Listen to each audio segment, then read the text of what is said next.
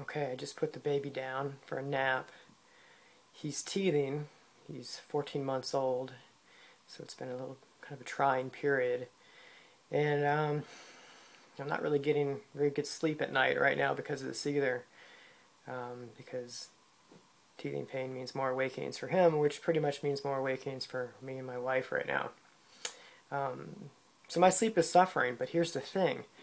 Uh, I'm getting seven to eight hours of sleep every night. Uh, I lay down in bed for at least seven hours a night. But that sleep is punctuated by interruptions. And so this brings me to the issue that it doesn't, it's not just about how much sleep you get, it's the quality of sleep you get. Because what I'm suffering from is sleep fragmentation. Basically means that I'm not able to get those deeper restorative levels of sleep because I keep getting woken up before I get down into them.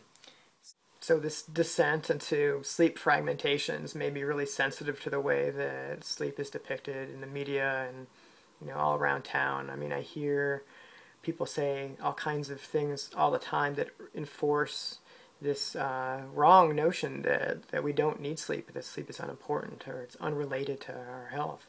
You know, people say things like, I'll sleep when I'm dead, or uh, you know, sleep is for the weak. Uh, my favorite, real men don't sleep.